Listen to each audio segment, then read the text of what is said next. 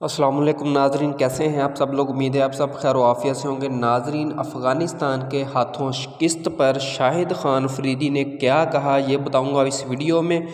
Pakistan cricket team के सबक कप्तान शाहिद अफरीदी ने अफ़गानिस्तान के हाथों शिकस्त के बाद नौजवानों के साथ सीनियर खिलाड़ियों को भी टीम में शामिल करने का मशवरा दे दिया।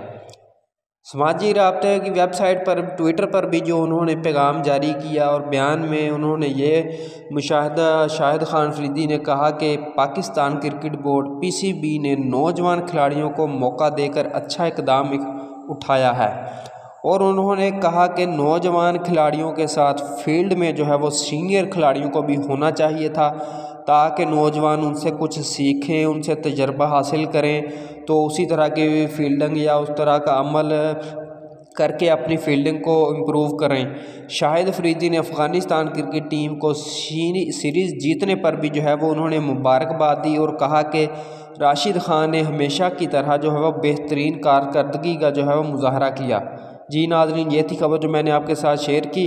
मज़ीद इसी तरह की वीडियो शेयर करता रहूँगा, जुड़े रहेगा हमारे साथ हमारे इस चैनल पर। मिलते हैं इंशाल्लाह अगली वीडियो में। अल्लाह हाफिज़।